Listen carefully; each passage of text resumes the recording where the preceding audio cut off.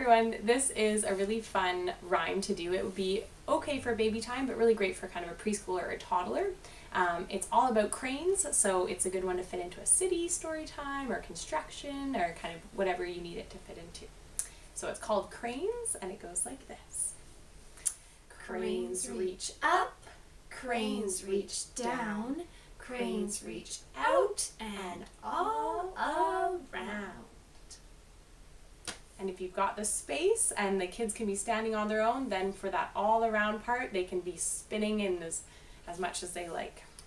Do a little Twirlaroo.